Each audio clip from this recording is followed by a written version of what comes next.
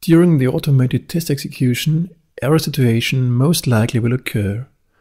These indicate, for example, changes or malfunctions in the application, which then require corrections in the source code or the test procedure. For the analysis of such errors, the QF test run log is of central importance. Let us take a closer look at such a case.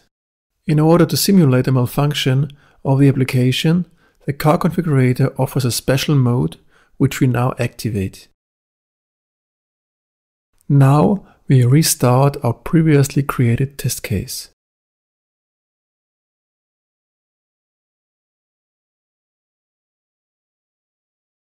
A dialog informs us that an error has occurred.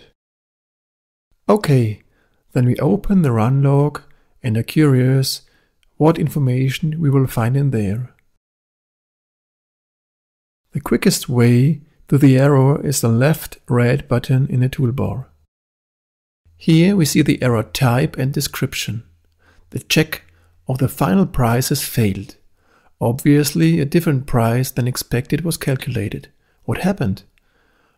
Often helpful for the error analysis are screenshots which QFTest generates in case of an error and saves in the log. Here you can actually see the wrong final price and, on closer inspection, also the cause. The problem lies within the base price of the model, which appears to be 0 euro. Seems a small error has crept in. We can now pass on this information to the developers and document it by the QFTest run log and included screenshot.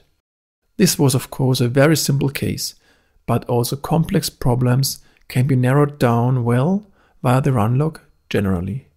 Thanks a lot and see you soon.